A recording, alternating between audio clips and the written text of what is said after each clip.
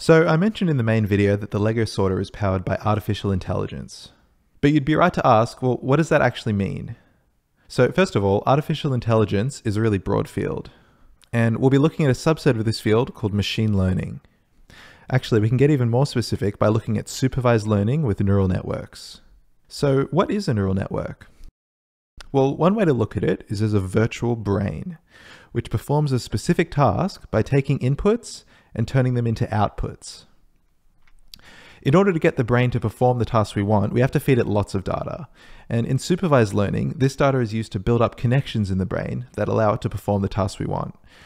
Generally, the more data you feed into the neural network, the better it is at the task. So let's have a look at the LEGO sorting AI. The network design is called a convolutional neural network, which is a type of neural network that's specialized to work with images. The input to the network is an image of a Lego part, and the output is the part number for that specific part. So our task is to take an input image and generate a prediction or classification to tell us what part it is. So in order for the brain to make these predictions, we need to build up the right connections in the neural network. And that means we need data, specifically labeled data. For each input image, we need to tell the neural network what part number it is. Then you can use the images and the labels together to build up the connections in the brain that we need. So typically, in an application like this, you'd collect a bunch of images and manually label them all. But in our case, this causes a problem. There are just so many different types of parts in so many different colors and possible orientations. With a small number of manually labeled images, we just can't build up enough of the connections we need in our virtual brain. For the network to be able to recognize parts reliably, the number of images we will need is huge, so manually labeling enough images would just take far too much time. And this is a really big problem in heaps of AI projects.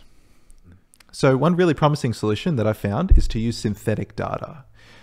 And that means instead of taking images from the real world and labeling them manually, we can artificially generate our own images with labels attached. Using 3D models of Lego bricks, we can create realistic photographs automatically without any human input. Then, we can train the neural network on these new images to create the connections that we need. Unfortunately, it doesn't work. If we try to get the neural network to classify a real image, it'll give the wrong result most of the time. We're running into something called the simulation to reality gap, or the sim to real problem. And here's the problem. The real images all look similar to each other due to the physics and lighting conditions in the real world. The fake images try to match the real ones as closely as possible. But there are subtle differences in things like lighting, shadows, color, and texture. To you or me, both of these types of images look almost the same. But to the brain we're trying to build, they might as well be from different galaxies. And these subtle differences are enough to throw everything off. Right now, the sim to real problem is considered pretty much unsolved by researchers. But luckily, in 2017, a paper was published which gives us a really helpful technique. It's called domain randomization.